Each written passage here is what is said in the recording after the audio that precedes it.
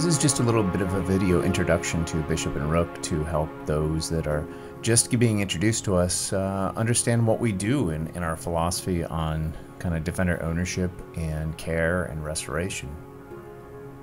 We started the company several years ago as a result of buying our first Defender and using it on a creative film project. Uh, we became intrigued with the performance of the vehicle, where it could take us, hauling our gear around, as well as uh, the stories and questions uh, that people would ask us along the way. It brought smiles to not only our faces, the drivers, but also those that we came across. It turned every day into an adventure. So we eventually opened up a workshop where we did general maintenance and kind of restoration. Uh, we continued to import uh, some well-storied defenders from from England and just fell in love with the process of, of taking a look at each defender as it came in and driving and experiencing it and seeing where we could take it.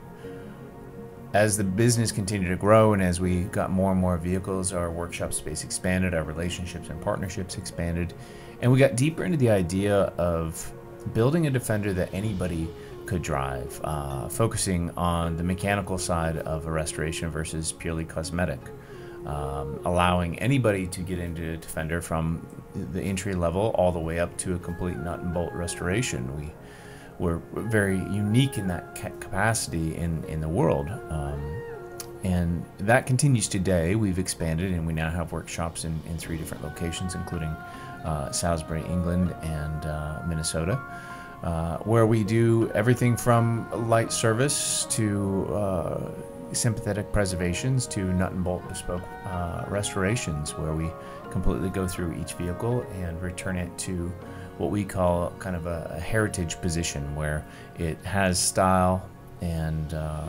grace of the original factory, uh, but adding a little bit of more uh, modern convenience and comfort to it. Um, knowing that the Defender is a Defender, it's meant for driving, it's meant for adventure, so it shouldn't be overbuilt, it shouldn't be overpriced, um, but it should last forever and it should be able to take you anywhere that you can possibly imagine going.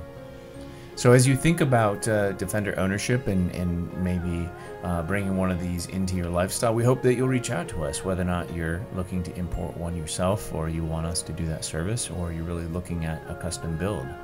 Uh, our hope is to provide you with the information and knowledge you need to make a good choice.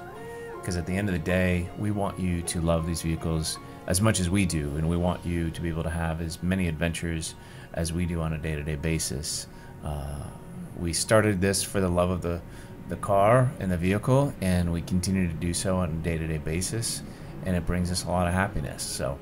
uh, hopefully, that gives you an introduction of, of who Bishop and Rook is, and uh, feel free to reach out with any questions you might have.